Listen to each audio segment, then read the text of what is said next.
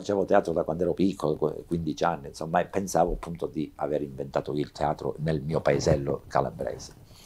In, un, in, anni, siamo negli anni Ottanta, in cui comunque la televisione dava qualcosa di teatro, per fortuna a quei tempi, però sempre poca roba. Mi ricordo che entrai al teatro studio, già per me, cioè, entrare in un teatro così, un tempio, per me era un tempio, cioè, era una cosa di una bellezza che non ho mai più rivisto in nessun altro teatro. Cioè, quel teatro mi, mi, mi diede l'impressione di essere parte di, di, di, di quello che stava succedendo e mi ricordo che vidi una mongolfiera. A un certo punto dico, come scusa, ma aspetta un attimo, c'è una mongolfiera, c'è una botola, una mongolfiera che saliva, luci, cose, ma dove sono? Io dove sono? E poi a un certo punto vidi un signore con i capelli d'argento che saliva dalla mongolfiera a dire porca puttana, vaffanculo. Si era impigliata la mongolfiera e non riusciva a salire e, e, le madonne, tutte, cioè io dico, ma che sta succedendo? Era Giorgio Streller, il mio futuro maestro, ma era già mio maestro in realtà, perché io rimasi incantato da, da, da, da quanta verità poi c'era in quella finzione, ecco diciamo, in quella, in quella finzione che però era eh, ipnotica. E quando ho cominciato a, a, a capire un po' mh, proprio cosa volesse dire veramente, fare teatro. Ecco lì ho capito la mia strada, gli insegnamenti di un maestro non è che poi sono mh, sempre specifici, cioè nel senso che sono, sì, sono vari. Diciamo che da una parte c'è l'insegnamento artistico, ok? L'insegnamento diciamo dell'arte teatrale e in quel caso chiaramente sai, se cerchi qualcosa dentro di te e dici io vorrei, vorrei, non so cosa, poi quando lo trovi lo riconosci lo riconosci subito, c'è stato un riconoscimento, diciamo, da un, una voglia di scoprire che tipo di teatro magari volessi fare io nella vita o, o dare un significato al mio voler fare teatro. E lì il significato c'era già, perché non solo mi ha insegnato ad avere, ad essere, diciamo, mh, eh, a parte la messa in scena, ma servitore dell'autore. Ecco, questa è una cosa che mi è rimasta impressa, che diceva sempre il maestro, cioè il fatto che sì, bisogna interpretare un autore, ma in un certo qual modo bisogna essere servi di questo autore. E poi la cosa che, diciamo indirettamente, ma molto diretta, diciamo, che ho avuto come, come insegnamento è il senso di appartenenza. Ecco, queste sono cose che sono talmente più alte anche dell'arte stessa, avere un senso di appartenenza, un senso di appartenenza umano. Alla fine cosa siamo passati a fare? No? Anche il maestro che è passato così come un lampo su questo mondo, a noi ha lasciato delle cose preziose, che magari noi portiamo in giro, noi che siamo stati suoi allievi, portiamo in giro nel nostro piccolo mondo e cerchiamo di farne tesoro. Lo abbiamo vissuto nel periodo, diciamo, ultimo non so dire se è il più bello o, o, meno. Diciamo che di solito lui diceva questo, che l'ultimo spettacolo è sempre quello più bello, quello migliore, quindi posso dire anch'io che forse l'ultimo streller magari, diciamo così, giusto per, per darci felicità, e che magari era quello, era quello migliore, non, sa, non, saprei, però diciamo che noi lo abbiamo vissuto in quel periodo dove eh, noi eravamo piccoli. Eh, e quindi era lui. E io vedevo una cosa molto interessante, cioè la voglia di lavorare con i giovani. Lui aveva proprio questa voglia, questa voglia mh, innata, forse perché magari non aveva figli, non so, o forse perché magari vedeva in noi già una prospettiva di futuro, no? una prospettiva di dire sì, io devo attecchire, devo lasciare qualcosa, forse loro sono quelli che un domani giustamente, ecco, e quindi con noi parlava volentieri e magari perdeva anche ore di tempo magari a, no, a, a spiegarci, a dirci delle cose. E io ho avuto la fortuna di fare pure l'Arlecchino, che non è, cioè, ecco, l'Arlecchino ecco, penso che sia una cosa allucinante. Io credo che forse nella storia del teatro mondiale, credo che non esista una cosa del genere. C'è Goldoni, che è l'autore, e c'è Streller. Ma di solito quando muore il regista poi no, rimane l'autore, perché poi dopo tutti interpretano quel testo, no? Pirandello, saprei, Brecht, Shakespeare. No, questo è forse l'unico caso al mondo dove eh, va, va, in giro dopo la morte la regia di, quel, di, quello che è morto. Cioè, questa è una cosa che io ho sempre detto, ma è possibile? Ecco, Cioè, una cosa che dovrebbe far riflettere tutti oggi, dire ma vedi che se si agisce in un certo modo le cose poi rimangono. Non per retorica della vita, perché magari uno può dire che palle, però, sai, la, poi si cambia nella vita, si va avanti, si cambiano le cose, sì, ho capito, ma le cose che però, il Colosseo che resta, la piramide che resta, non può essere retorica, cioè è una piramide che resta con qual- ancora qualcosa di sconosciuto, perché altrimenti non resterebbe, che ancora dobbiamo scoprire, sicuramente, qualcosa di misterioso che dobbiamo scoprire. Ecco, penso che lui ci abbia lasciato questo mistero, il mistero della sua essenza in questo spettacolo, perché va in giro la regia, una regia, non va in giro il testo, va in giro quella regia, quella messa in scena. Lui mi volle nell'Arlecchino. Io facevo, io ero sempre là vicino, io qualsiasi cosa, purché c'ero, ecco, perché ero una spugna in quel periodo. E, ehm, e lo faccio perché mi dicono, no, no, tu, tu, tu fai il capocameriere. Dico, vabbè, va là, il capocameriere, facciamo la scena. Mi guarda. Ah, no, aspetta, ma, tu di dove sei? Eh, calabrese. Ah, calabrese. Vabbè, ma scusami, ma perché non reciti in calabrese? mi, metto, mi metto a recitare in dialetto e lui comincia a, andare in delirio. Aspetta, però qua dobbiamo fare qualcosa alla faccia, così. Allora, detto, vabbè, prendi del sughero, vado del sughero, abbiamo messo il sughero, una candela, e mi hanno fatto praticamente, mi ha fatto tutto nero. Io non capivo, dico, ma perché mi fa mettere tutto nero? Io avevo però dopo capito, cioè che lui ha avuto un'immagine in quel momento, perché dovevamo pure interpretarlo, Streller, non era facile. Insomma, mi faccio questa cosa qua e ho capito che io ero una maschera a quel punto. Comincio a recitare in dialetto mio, io all'inizio ho avuto un po' di terrore di questa situazione qua, perché dico, ma in dialetto mio, io sono qua, cioè non voglio recitare in dialetto. Avevo un attimo, no, sai... Però ho detto, vabbè, ah, poi cominciato a divertirmi. Ho detto, prima a Milano vado in scena, entro nella mia, mia parte, il pubblico in delirio. Risate allucinanti, applausi, applausi a scena aperta. Questa cosa mi sorprese molto e diciamo che mi ha fatto un regalo enorme. Penso che il Faust sia stato il lavoro più completo che io abbia mai visto fino adesso. Era enorme. Io lo vedevo gigante. Cioè, perché era da tutte le parti. Era in scena, era fuori, mentre era dentro era fuori. Cioè era un discorso che era, poi era, era, era in tutti, come eravamo tanti poi nel Faust. Oltretutto lui aveva una paranoia, che era essere attore. Anche lui si viveva il personaggio, in quel caso come raccontare il proprio personaggio, anche perché doveva stare attento a tutto, non era facile. E anche se in un certo qual modo fu criticato, io invece penso che era un grande Faust a un certo punto, no? lo, dico, lo dico sinceramente, perché era mh, mm, sincero, anche perché era Faust, ma anche era Streller, e quindi c'era questa, questo transfert no? in un certo qual modo di uno che vuole arrivare a, al limite dei saperi, della conoscenza, e, e, e lui che vuole arrivare al limite della conoscenza del teatro perché non è stai mettendo in scena un'opera teatrale, si sta mettendo in scena un'opera che non è teatrale, un'opera letteraria, diciamo, ok? Se così vogliamo dire, è un qualcosa che va al di là, diciamo un testo, come possiamo chiamarlo, lirico in alcuni aspetti, un testo poetico, un testo ostico, difficile a livello proprio di, di, di scrittura. Ecco, è lì, è lì, si parla di alchimia, no? in un certo senso, no? di, e quindi di muovere e di manipolare la, la, la, materia. Ecco, in quel caso il regista manipola la materia, e in quel caso Faust no, vive, sì, e, e, e, attraversa dei mondi no, che sono dei mondi aperti con una chiave esoterica, anche se possiamo metterci anche la questione mistica, cioè avere a che fare con eh, una materia invisibile, un'energia invisibile, un qualcosa che comunque noi rendiamo visibile. Ecco, lui credeva fortemente in questa cosa, in tutte le sue lezioni, io mi ricordo che comunque al, al, dietro questi, i suoi ragionamenti c'era sempre un discorso di sopravvivenza di qualcosa. Per cui credo che questo testo qua, questo, questa opera, questa sua fatica sia stata anche molto molto intima. Ed è un paradosso perché il Fausto è tutto fuorché intimo, no? era molto eh, circondato da tutto un insieme di immagini molto forti.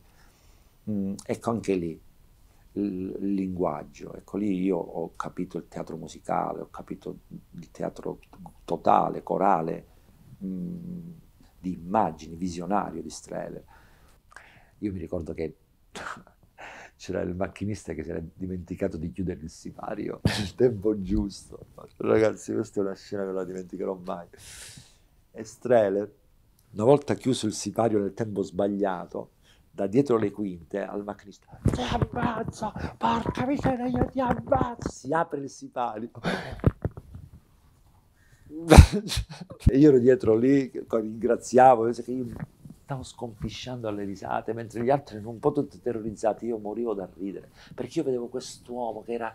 Che, che non poteva accettare questa piccola, uno spettacolo tra due o tre ore, una piccola cosa venuta male perché si è schiuso secondi, non i secondi giusti, il sipario, lo vedo, quindi una cosa infinitesimale, ma lui era veramente arrabbiato. Io penso che era impossibile anche andare a vedere uno spettacolo con Giorgio Strehler, secondo me perché poi a un certo punto non credo che per ascoltare più lo spettacolo ma ad ascoltare Giorgio Sei che diceva no una cagata questa non vabbè no ecco quello avrebbe dovuto dire questo eh, ma questa e quindi era impossibile era impossibile era una, una, lotta continua secondo me intestina ecco perché a volte si allontanava giustamente perché era, doveva respirare po' cioè lui prendeva una boccata d'aria uh, fuori effettivamente perché dentro era in apnea continua no in questo senso e poi ho fatto, sì, ho fatto, ho fatto i, allora, i, Giganti della Montagna come mio primo spettacolo appena diplomato e abbiamo provato al teatro studio per, per molto tempo,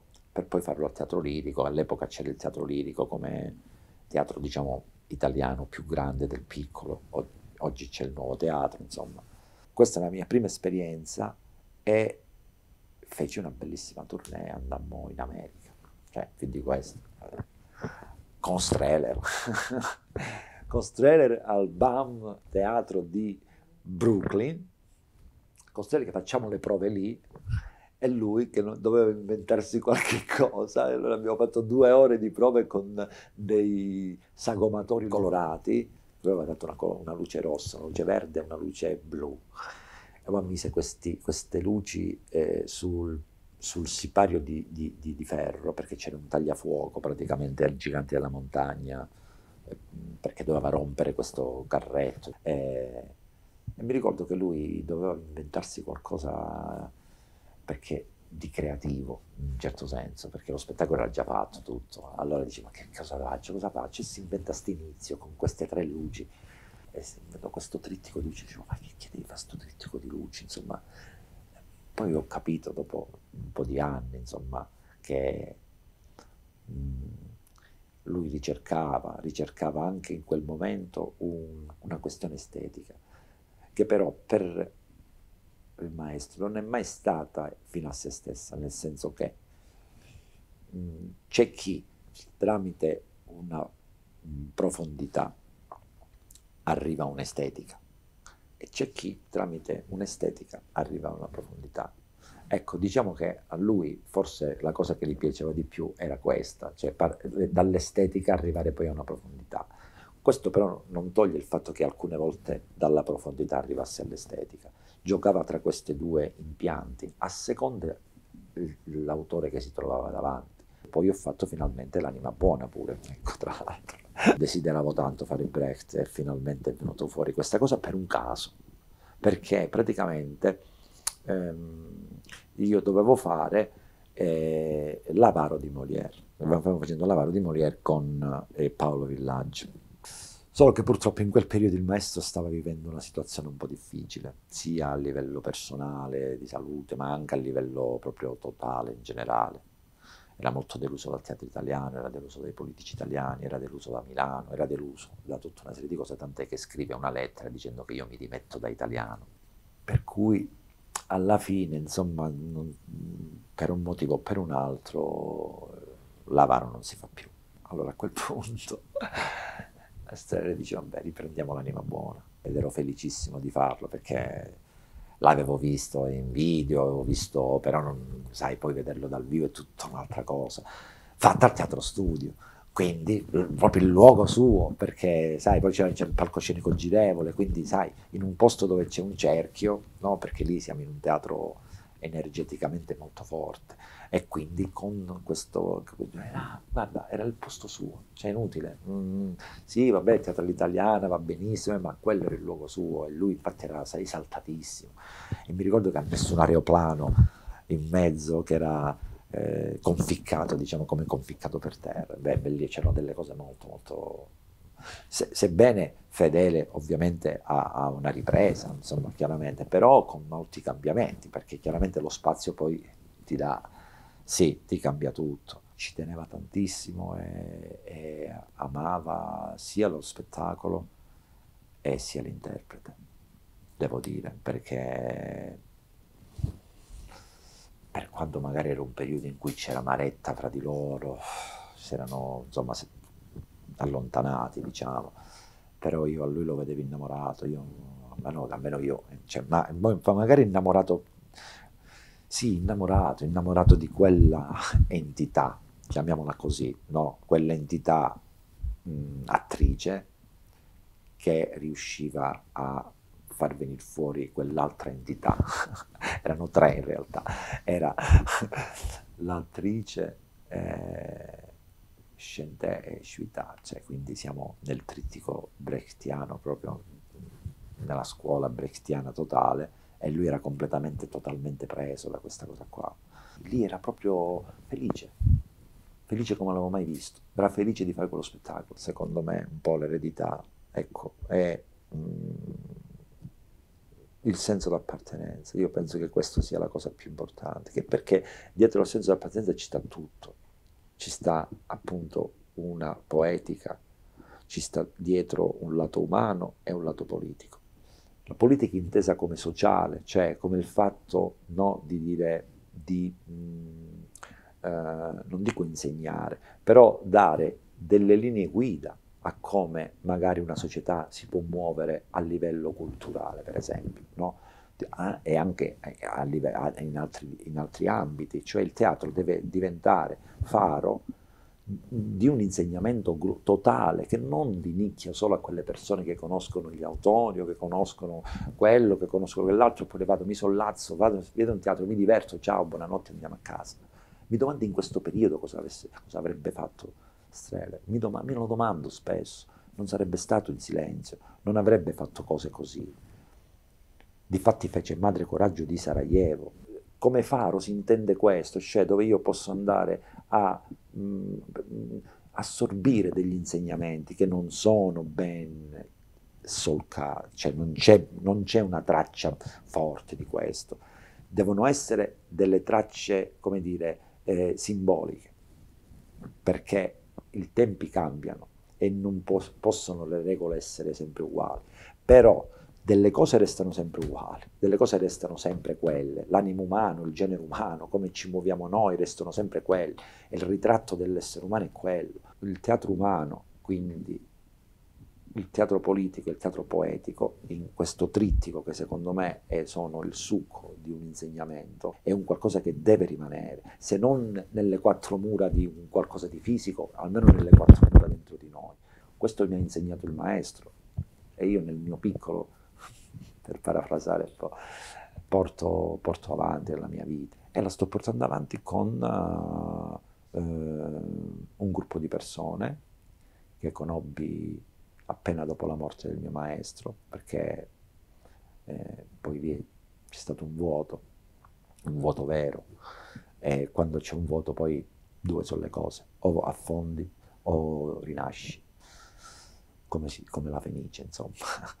E allora in quel caso lì decisi di rinascere, nemmeno forse io consapevolmente, magari la vita che poi ti dice che devi rinascere in qualche modo, e decisi di non fare più teatro, diciamo eh, così, come attore di giro, no? andare a fare questo con quel...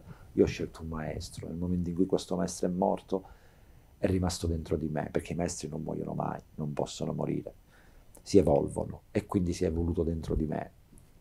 Per cui non tanto, sì, eh, anche per essere superati, no? perché diciamo che eh, bisogna tradirlo il maestro a un certo punto. ok? È un fatto questo. Eh, è solo per amore che va fatto. Allora io ho avuto un amore, un secondo amore, diciamo, che è, è un teatro, una compagnia che ho fondato appena nel 98, cioè quindi stiamo parlando del 97 è morto il mio maestro, il 98 io fondo questa compagnia, diciamo all'inizio un po' così, poi dopo piano piano si è solidificata e ho fatto un discorso eh, proprio con questi tre insegnamenti forti nel mio territorio, la Calabria e l'Università della Calabria in particolare, dove magari molte cose non c'erano e lì ho dovuto fare un po' da pioniere, insomma, un po' eh, per cui educare un po' il pubblico, i giovani soprattutto, io sono sempre in contatto con ragazzi perché all'interno di un'università poi è chiaro che c'è un ricambio continuo poi di gioventù, di nuove idee, di nuovi, di nuovi sapori, di nuove, di nuove emozioni, di, di creatività, di fantasia, di saperi soprattutto. E quindi diciamo che ho trovato il modo migliore forse, ecco, per me di rendere giustizia, ecco, a un insegnamento che deve essere sempre vivo. Io cerco di tenerlo sempre, vi- sempre vivo, che ripeto, non significa sbandierarlo ai 420, anche perché a volte certe verità non possono essere dette.